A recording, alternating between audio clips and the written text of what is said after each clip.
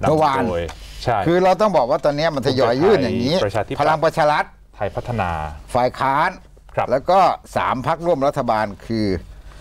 เอ่อประชาธิปัตย์ภูมิใจไทยชาติพัฒนา ครับ ซึ่ง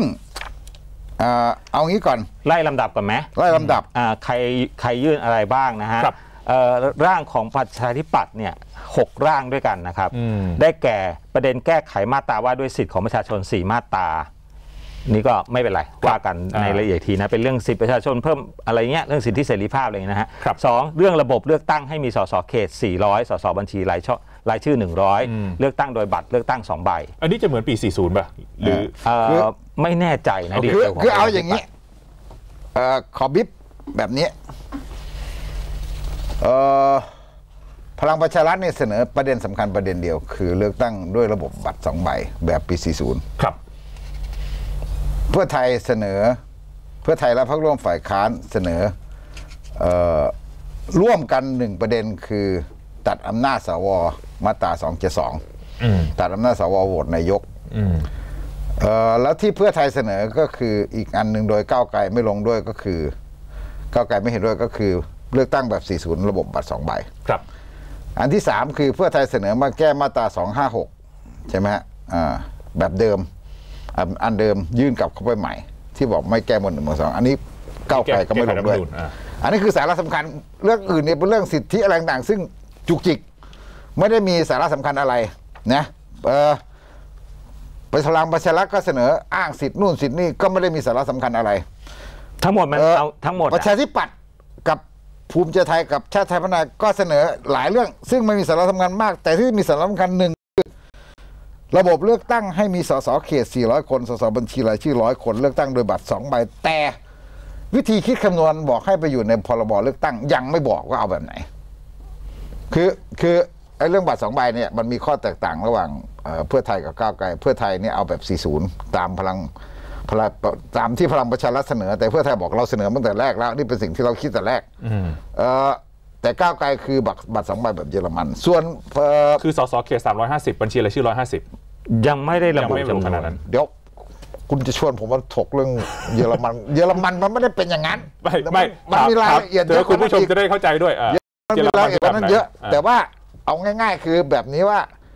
เอ่อในความแตกต่าง ส่วนพักประชาธิปัตย์พักภูมิใจไทยแล้วก็พักชาติไทยเนี่ยอืมก็เสนอบัตรสองใบสี่ร้อยกับหนึ่งร้อยแต่ว่ายังไม่บอกว่าวิธีคิดคำนวณแบบไหน คือมันมันติ่งไว้ว่าไม่ได้บอกว่าเยอรมันหรือแบบ คิดคำนวณแบบไหนอืมแต่แนวโน้มมันก็คือแบบ 40 แหละ ครับ แต่ทีนี้ส่วนเรื่องอีกอันหนึ่งก็คือว่า 256 เอาด้วยเนี่ยมาตรา 256 เนี่ยเอาด้วย แล้วอีกอันหนึ่งก็คือว่าเอ่อตัดอำนาจสว เอาด้วยนี่หมายถึงเพื่อไทยเอาก้าวไกลไม่ได้เอาด้วยเอ่อนี่พูพูดถึงพรรคร่วมรัฐบาลอ่าอ่าพรรคร่วมรัฐบาลสามพรรคเนี่ยอ่าฮะเอาด้วยกับเพื่อไทยเรื่องแก้เรื่องสองแก้ห้าหก256มีสสรมีสสรครับ เออ แต่ในเรื่องที่เออไม่เอาสวไม่เอา210สวโหวตนายกคือมาตรา272เนี่ยครับพักภูมิใจไทยกับพักประชาธิปัตย์ยื่นยื่นแต่ชาติพรรคไทยชาติไทยพัฒนาไม่ไม่เอาลงด้วย อืมอ้าวอ่านี่จะมีความซับซ้อนตรงนี้ ทั้งหมดมัน 14 มาตราอืมอ่า14ร่าง14ร่าง แต่ว่าในความในความคืออย่าไปดูเรื่องร่างเล็กไอ้เรื่องร่างเล็กมันมันจุกจิก แต่ว่าดูเอาร่างใหญ่ร่างใหญ่มันอยู่ตรงนี้อืมอืมร่างใหญ่ๆก็คือสรุปอีกทีเอ่อ ตัดอำนาจสวสองเจ็ดสองเนี่ย แก้มาตราสองสองเนี่ย มีพักร่วมฝ่ายค้านทั้งหมด เห็นด้วยพักร่วมรัฐบาลด้วย ยกเว้น มีพักร่วมรัฐบาลสองพพักลังประชารัฐกับชาติไทยพัฒนาอืมมีพักร่วมรัฐบาลสองพักครับคือเอ่อประชาธิปัตย์กับภูมิใจไทยอืมสวยืนยันไม่เอา เราล้มจะเอาตามที่พลังประชารัฐเสนอมาเท่านั้นอืมเพราะฉะนั้นเรื่องเนี้ยมีแนวโน้มของการที่จะล้ม แต่ว่าต้องไปต่อรองกันดูว่าถึงที่สุดแล้วเนี่ย พลังฝ่ายประชาธิปไตยหรือประชาชนมันมีสิทธิ์มีเสียงอยู่หรือเปล่าที่จะกดดันสวหรือจะอะไรแต่สังคมมันจะแบบพลังทางสังคม มันจะช่วยแก้ตัวนี้ได้ไหมอืมอืมเออมันจะล้มตัวนี้ได้ไหมคือแบบยอมให้หมายถึงว่ายอมให้2 0 0สวเปิดทางได้ไหมซึ่งต้องใช้หนึ่งในสามนะครับครับซึ่งต้องใช้หนึ่งในสามครับอันนี้คือมาตราที่หนึ่งที่สำคัญที่สุดเป็นครับหัวใจอะก็โอเคเออเถิดพอดีเรามีเสียงคุณชนวรวันนี้ที่ที่อะที่จะยื่นอะเปิดไปก่อนะเปิดเสียงนี้ก่อนแล้วเดี๋ยวมาคุยกันต่ออมกับยื่นแปดนะะ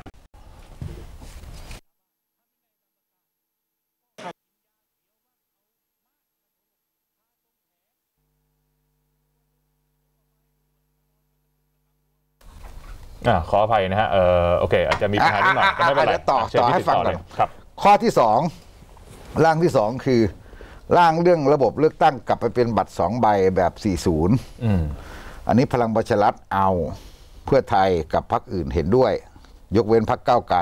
อืมซึ่งแบบเอาสองใบแบบเยอรมัน ส่วนพรรค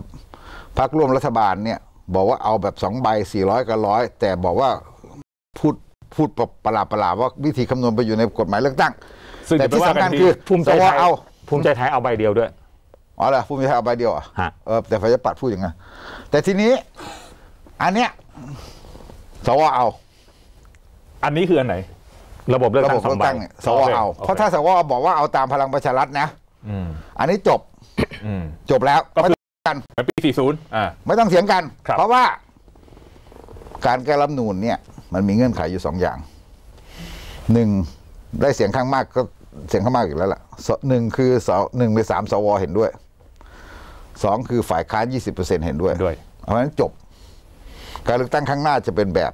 40 อืม จบ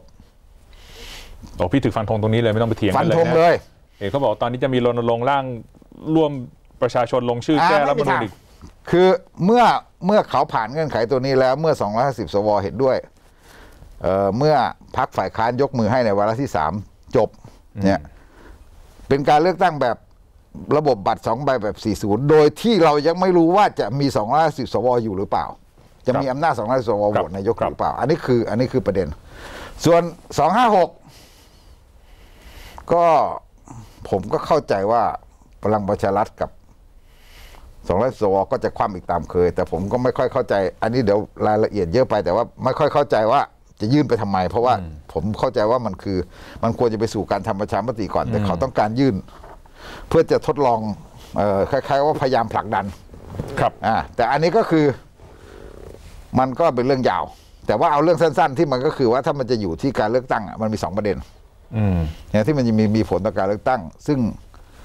เอ่ออาจจะยุบสภาหรืออาจจะอะไรก็ได้ถึงแม้ประยุทธ์อาจจะอยู่บอกว่าอยู่ครบใช่ไหมอืมอืมเพราะฉะนั้นกลับไปตรงนี้คือบอกว่า ยังไงก็ตามมันจะเป็นระบบ 40อืมอืมฟันธง คือสมัยหน้าไม่มีพักเสรีรวมไทยไม่มีพรรคประชาชาติพอยต์หลักๆที่เขาต้องการกลับมาเป็น 40 นะพี่ชูวัตรวิเคราะห์ว่าคือเขาได้ประโยชน์พรรคใหญ่ได้ประโยชน์ใช่ไหมไอ้ไอ้ปี 40 เนี่ยคนหลายคนก็มองว่าอย่างนั้นพักใหญ่ได้ประโยชน์เอออันนี้ถูกใช่ไหมฮะโอเคก็ใช่ภูมิใจไทยถึงไม่เอาไงอืมแล้วก็โอเคพรรคก้าวอื่นๆก้าวเนี่ยไกลก็เอาสองใบแต่ก้าวไกลเอาแบบเยอรมัน ซึ่งก็เอื้อประโยชน์ต่อก้าวไกลอยู่ คือมันมีส่วนได้ส่วนเสียจริงอ่าอ่าโอเคๆกับจำนวนที่มันเป็นครับบัตรสองใบมันเป็นระบบที่มันตอบแทนเอ่อมันมันให้มันมันให้คำตอบต่อพหุสังคมอืมหมายถึงว่ามันให้สัดส่วนต่อ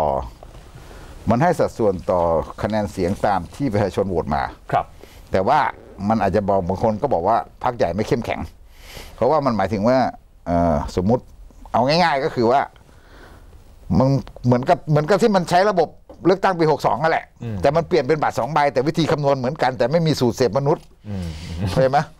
เหมือนกับคุณคิดปีหกศูนย์น่ะ แต่ว่าคุณไม่ต้องมาแย่งกันว่าปีนี้เขตเนี้ยเขตเราเราจะเลือกใครดี โอ้ระวังโอ้เพื่อไทยกับอนาคตใหม่คิดหัวแทบแตก คุณไม่ต้องสนใจ คุณเลือกไปเลย ครับครับคุณเลือก คุณคิดว่าใครชนะคุณเลือกไปเลย ครับ ถ้าเป็นถ้าเป็นระบบเยอรมันนะ อืม คุณก็เลือกไปเลยเนี่ยแต่ว่าแล้วคุณไปเลือกคะแนนพักที่คุณชอบ แต่ว่าพอเวลาที่มันเอามารวมคะแนนพักแล้ว เขาจะคำนวณแบบปีหกปีหกสองอะ อืม แต่ไม่มีสูตรเสพมนุษย์หมายถึงว่าถ้าเป็นเยอรมันจริงเขาตัดห้าเปอร์เซ็นออก แต่ถ้าเราอาจจะตัดหนึ่งเปอร์เซ็นก็แล้วแต่อะไรก็ตามแต่ก็คือพักที่ได้พักเล็กอะตัดออกที่ได้ต่ำกว่าหนึ่งเปอร์เซ็นตัดออก ถ้าเป็นระบบเยอรมันก็คือก็กลับไปคำนวณแบบนั้นแหละ ครับคอรับย่างเช่นเอ่อพักเพื่อไทยได้มา 22เปอร์เซ็น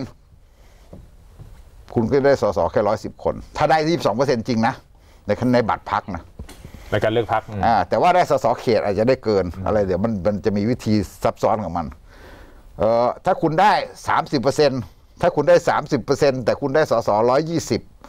สามสิบเปอร์เซ็นคือสสร้อยห้าสิบ เขาจะเติมสสปฏิริษีให้คุณ 30 คนอืมแต่วิธีนี้ก็คือว่า ส่วนใหญ่มันจะเป็นสาสสเขตมันจะเป็นสามร้อยสสปฏิริษีมันจะเป็นสี่ร้อยไปด้วยของเยอรมันใช่ปะฮะปฏิริษีเยอะกว่าปฏิริษีเยอะเขาไม่อั้นคือหมายถึงว่าเขาพร้อมจะเติมเขาพร้อมจะเติมให้จำนวนสสเนี่ยมันขึ้นอยู่กับการจำนวนคนคำนวณที่มามามาเลือกมันไม่ได้ตายตัวที่ 500อ่าอ๋ออัอันนี้คือระบบ 60 นะ ระบบ 62 นั่นแหละครับเพียงแต่มันปล่อยบัตรสองใบ แล้วไม่จำกัดโควตาไม่จำกัดสสไม่จำกัดสสอ่าไม่จำกัดแบบเป๊ะเป๊ะห้าร้อยไม่เป๊ะหรอกแต่หมายถึงว่ามันจะห้าร้อยยี่สิบสิบห้าร้อยสามสิบอะไรอย่างเงี้ยมันจะจะมีอย่างนั้น แต่ว่าระบบของมันก็คือมันมันเอาส่วนของส่วนของการคำนวณจากคะแนนพักจากบัตรใบที่สองที่เป็นคะแนนพักอะเอามากำหนดว่าพักนั้นควรจะมีสสกี่คนเออมันมันมันดูมีมันมีส่วนบัตรใบแรกคุณเลือกสสเขตไปครับ มันมีอะไรที่มันต้องมันมีอะไรลึกซึ้งกว่านั้นอีก คือ